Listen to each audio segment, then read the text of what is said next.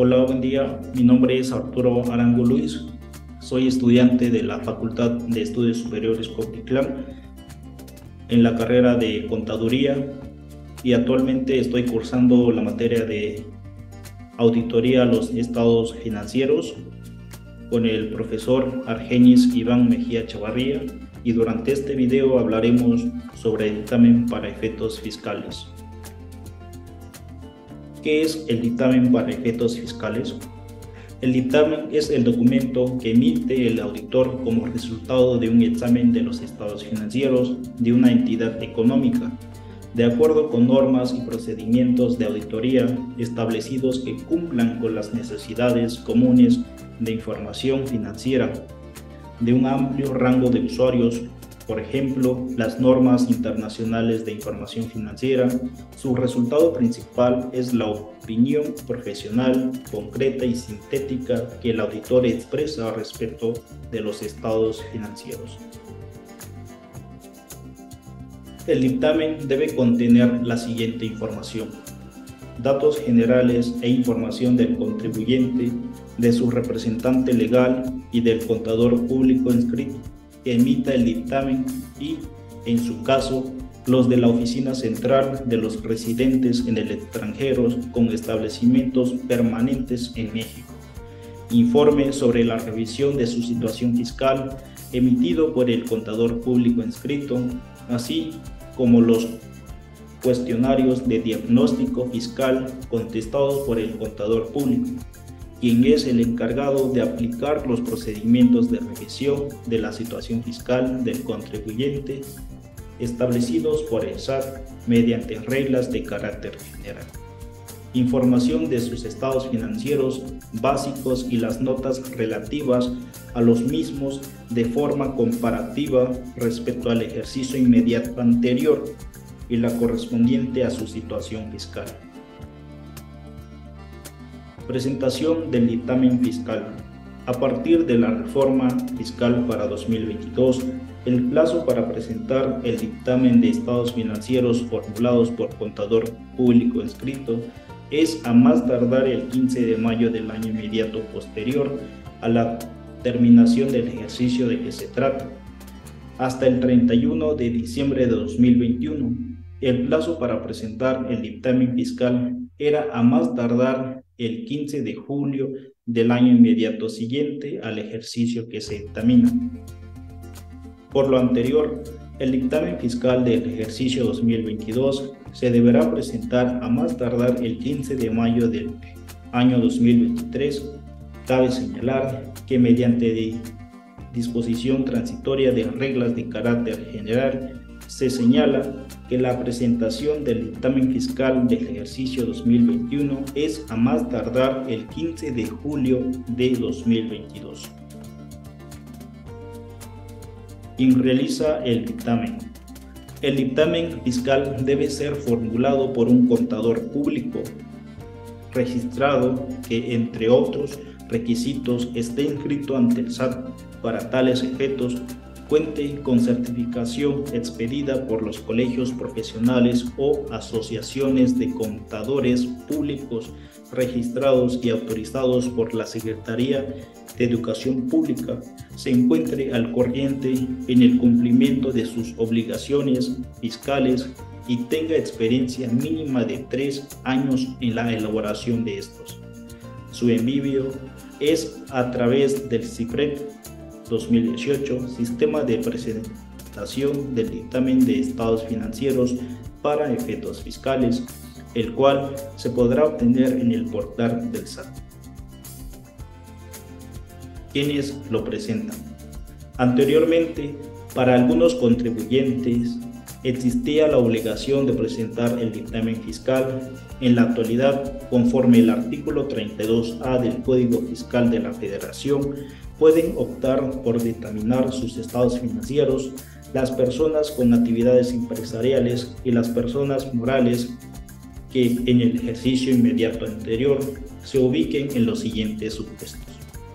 Hayan obtenido ingresos acumulables superiores a 122.814.830 que el valor de su activo indeterminado en los términos de la regla miscelánea 2.13.13 vigente sea superior a 97.023.720.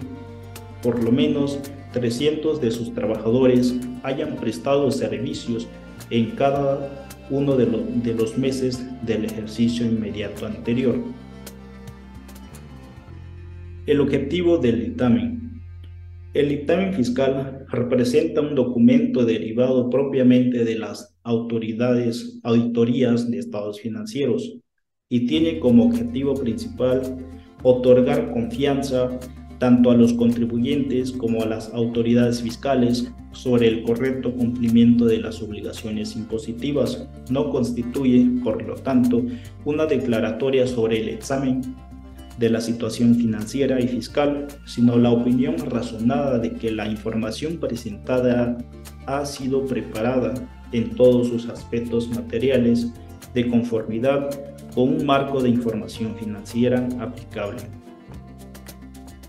Tipos de dictamen. Los tipos de dictamen están relacionados con la opinión que puede emitir el auditor y son los siguientes dictamen sin salvedades o limpio, dictamen con salvedades, dictamen adverso o con opinión negativa, dictamen con abstención de opinión.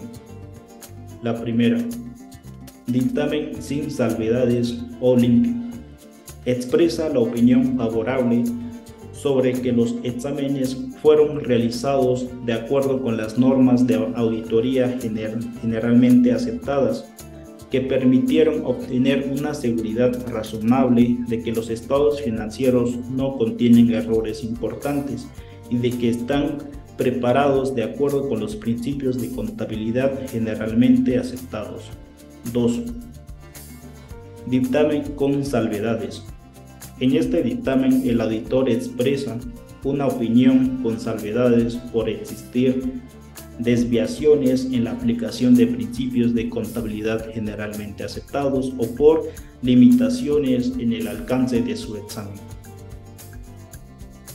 Dictamen adverso o con opinión negativa este dictamen es emitido como consecuencia del examen que concluye que los estados financieros no están de acuerdo con los principios de contabilidad y las desviaciones son de tal grado importantes que la expresión de una opinión con salvedades no sería adecuada y debe revelar todas las desviaciones importantes a los principios de contabilidad y las limitaciones que haya tenido en el alcance de su trabajo.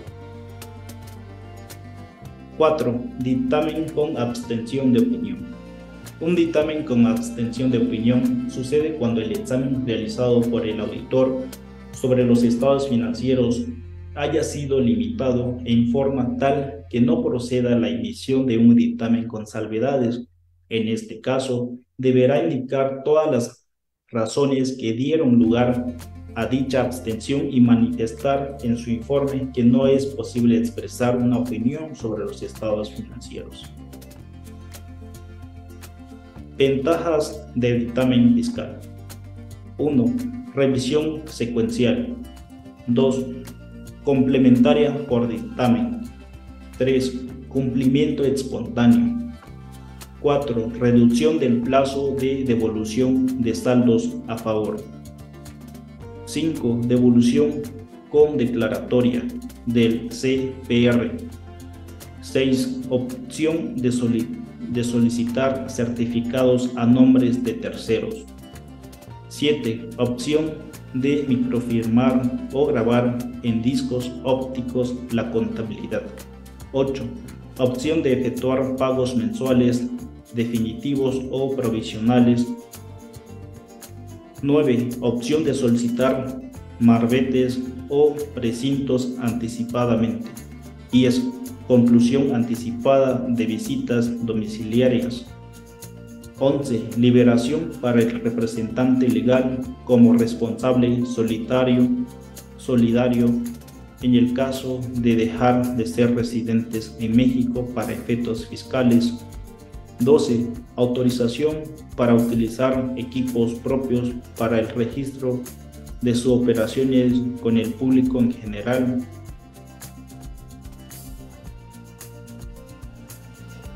Conclusión.